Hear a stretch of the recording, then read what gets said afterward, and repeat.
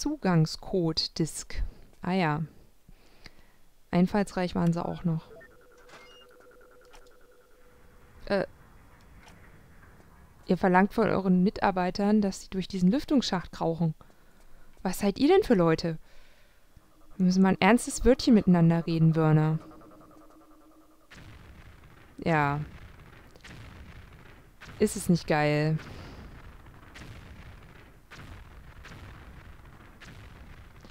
Dieses Geräusch wird uns jetzt eine halbe Ewigkeit verfolgen. Oh. Und wenn wir zu weit hier dran stehen, dann werden wir auch schon in Mitleidenschaft gezogen.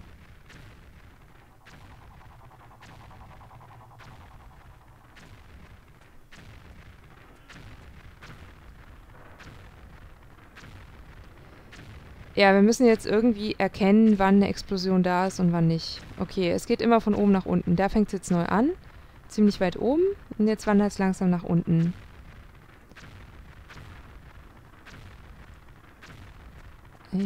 Vier, fünf, sechs, sieben. Äh, und da war ein Geheimnis auf halber Höhe. Oh, daran habe ich damals ewig gesessen.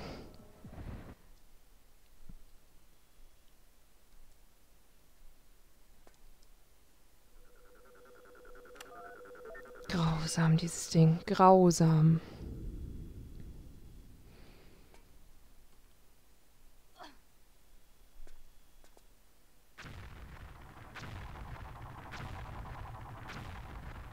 Vor allen Dingen ist finde ich, ist überhaupt nicht erkennbar am Anfang. Aber wenigstens hing ich schon mal an der Stange. Das ist schon mal sehr viel wert. Also das ist zumindest schon mal nicht so das große Problem. So.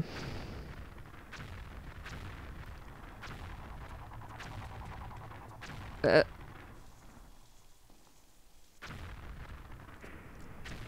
Ja. Und sie brennt einfach nur. Aber das habe ich jetzt nicht verstanden. Das schien anders zu werden, nachdem ich dann da dran hing.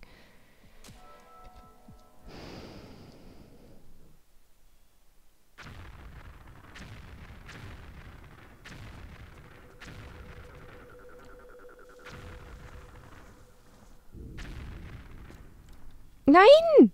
Oh, viel weiter unten, das Geheimnis. Okay, das schaffen wir. Das schaffen wir. Also, tun wir natürlich sowieso. Die Frage ist nur, wann.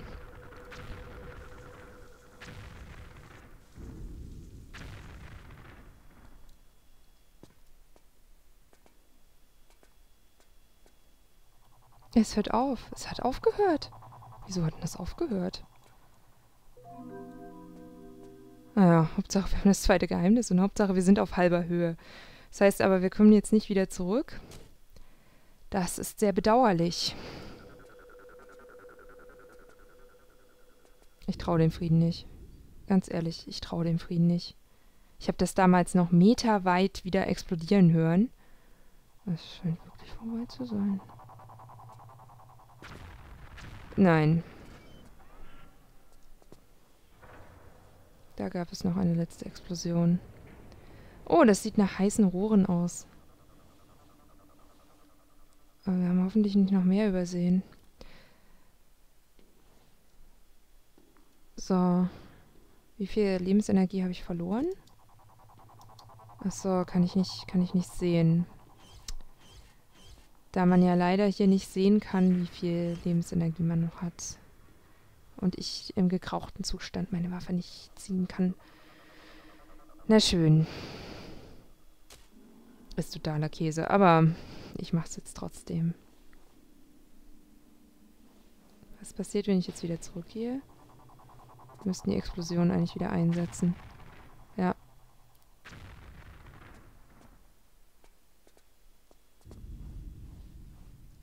Vielleicht hätte ich das abwarten sollen. Nee, noch ein Stückchen. Ah, das ist ja nix. Na, das lade ich jetzt nicht wieder neu. Also so sparsam bin ich dann jetzt doch nicht. Wir haben ja eigentlich das jetzt schon erstmal alles ganz gut hinter uns gebracht hier. So, wie geht's denn jetzt weiter? Ja, daran kann ich mich, glaube ich, auch noch gut erinnern, was jetzt hier kam.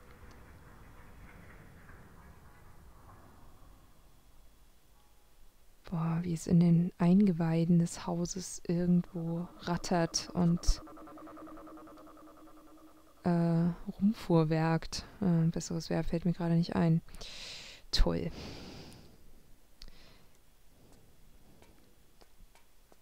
Es gibt gleich wieder Dialog. Glaube ich. Ist da irgendwas? Nein.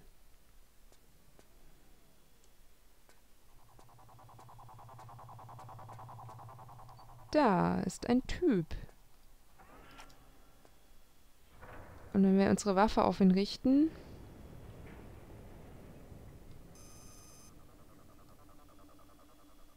Na doch, es, ein Fitzelchen Haut ist zu sehen. Aber das Spiel will eigentlich nicht, dass wir ihn, dass wir ihn erledigen mit der Waffe. Aber ich will es jetzt trotzdem mal probieren, ob es nicht vielleicht doch geht. Können wir auch hier speichern.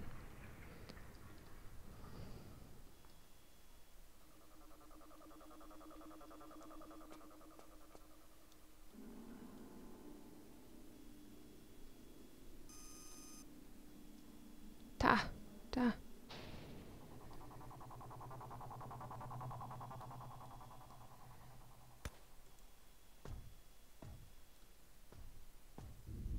Äh.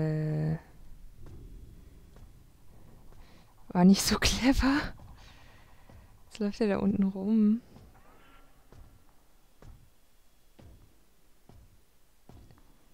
Kommt er jetzt hier hoch? Scheiße, der kommt doch jetzt nicht hier hoch.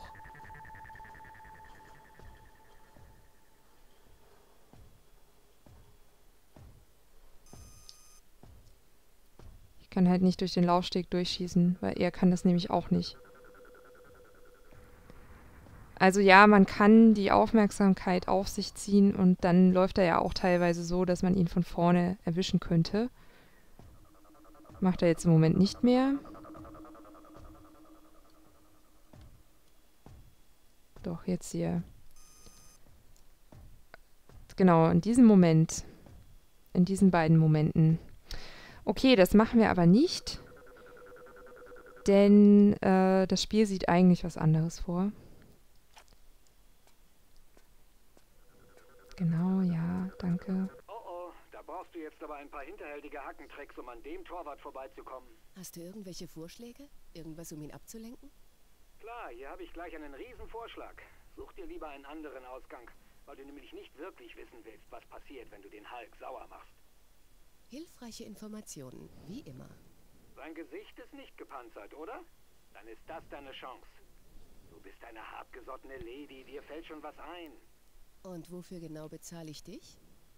Für mein außergewöhnliches Wissen über Sicherheitssysteme und für meine unerreichte Geschicklichkeit darin, sie zu knacken. Nicht zu vergessen meine suchtbildend sympathische Persönlichkeit, Schätzchen. Doch, ich glaube, die vergessen wir lieber.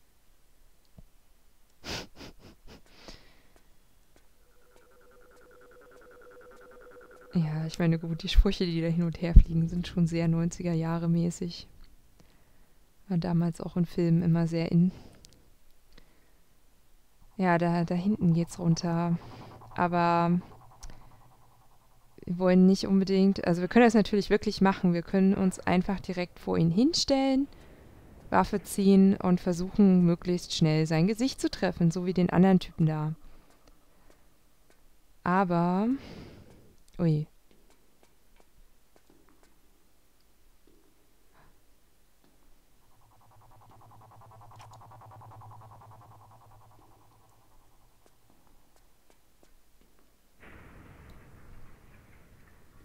Irgendwie habe ich das Gefühl, da ist einer drin.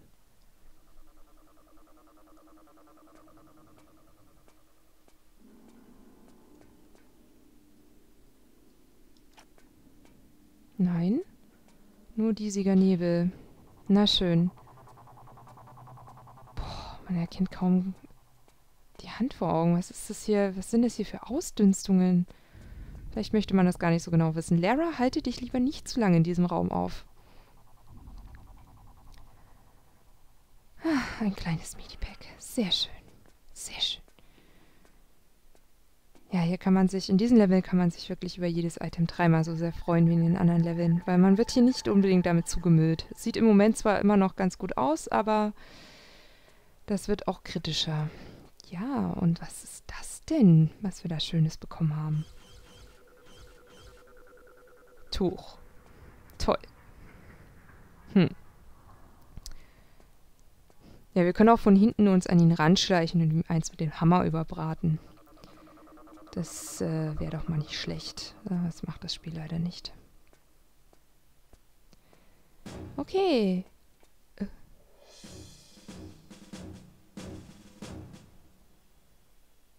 Ja, Spiel, ich habe schon mitbekommen, dass da unten einer steht. Du musst mich nicht extra mit gruseliger Musik darauf hinweisen. Aber dort ist eine Tür. Wir können nur hoffen, dass er uns nicht mitbekommt, wenn wir da jetzt die Treppe runterlaufen.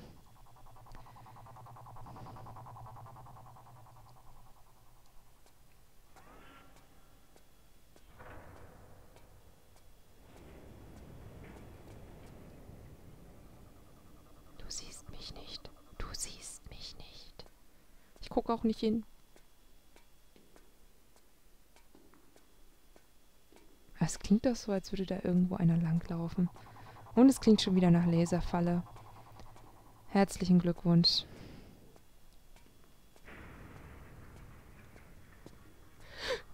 Was war das denn, Mädchen? Bist du, bist du lebensmüde?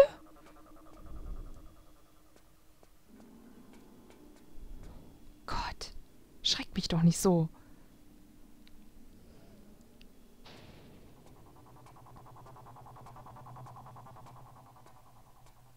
Und diese Kiste, sie sieht so aus, als könnte man sie verschieben. Ja, hier kommen wir nicht rein.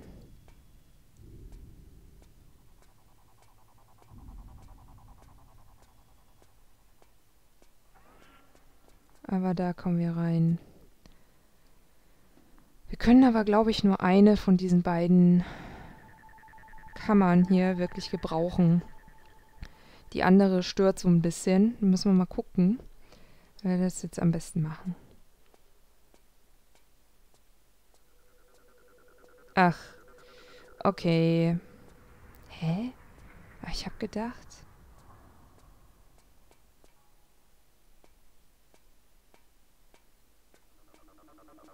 Es fällt überhaupt nicht auf. Es fällt überhaupt nicht auf. Na gut, die Kiste, die kommt uns jetzt hier in der Tat sehr gelegen.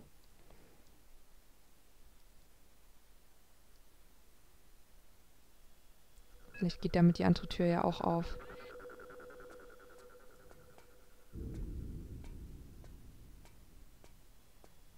Gehen wir mal gucken.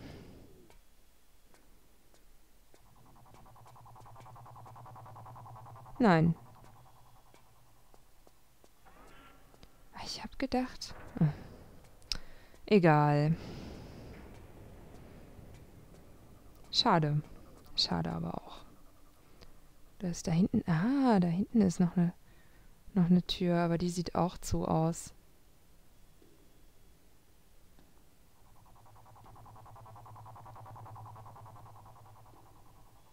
Boah, das kann mir doch keiner erzählen, dass da nicht irgendwo jemand langläuft. Das war doch nicht von Anfang an zu hören. So, ich frage mich nur gerade, ob da noch irgendwie ein Sicherheitsschloss davor ist.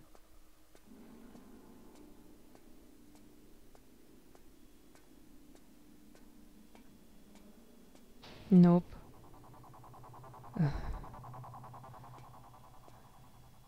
Mädchen, dann halt nicht. Ah. Nein, sie möchte da nicht lang gehen. Kommst du da jetzt wieder raus? Äh.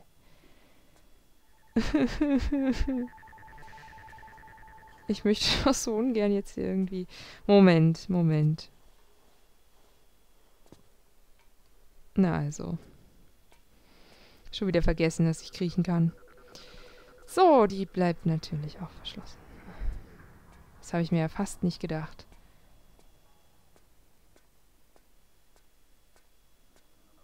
Ja, er kriegt das halt einfach nicht mit. Ist das nicht nett? So, jetzt müssen wir hier ein bisschen aufpassen. Dann müssen wir uns halt mit dieser einen Tür begnügen. Gemein. Hört ihr das? Seht ihr das? Äh.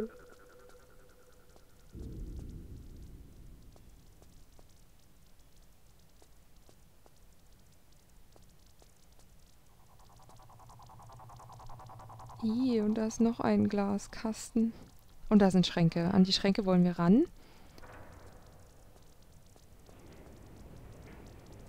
Äh, es wird ja immer... Äh. Man will es nicht wissen, ne? Man will es einfach nicht wissen. Okay. Die Frage ist, welcher von beiden? Vielleicht ist das die Frage, die uns eher beschäftigen sollte. Ob der links oder ob der rechts. Ähm, probieren wir es aus.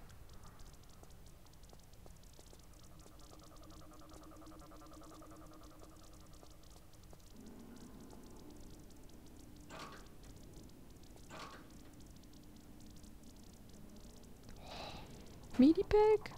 Nimm doch das Medipack mit. Ah, sehr gut, Mädchen. Ich bin stolz auf dich. So.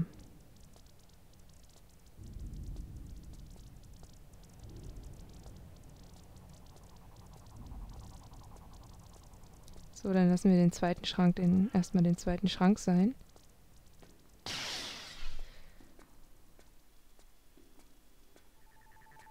Ja. Und gehen erstmal ein bisschen weiter hier in die Richtung. Hoffen, dass uns die Käfer nicht gleich finden und dass das der Typ nicht gehört hat. Und da ist viel zu viel ein Ich hoffe doch drin. Äh, okay, offensichtlich haben sich die Käfer nicht befreit. Oder zumindest sind sie da drin geblieben, wo sie sind. Das ist schön. So, wir haben Chloroformflasche.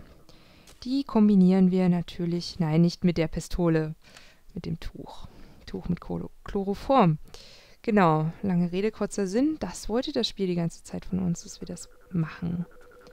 So, jetzt müssen wir uns natürlich es ist schon ein bisschen bizarr, dass sie sich halt an so einen Typen ranschleicht und nur um die, durch diesen einen, wo das Gesicht halt da offen ist und durch das, dieses Tuch dort durchzustecken. Das ist so ein bisschen merkwürdig. Naja. Aber okay, es ist sowieso merkwürdig, dass ausgerechnet das Gesicht bei diesen Dingern nicht geschützt ist. Uhu.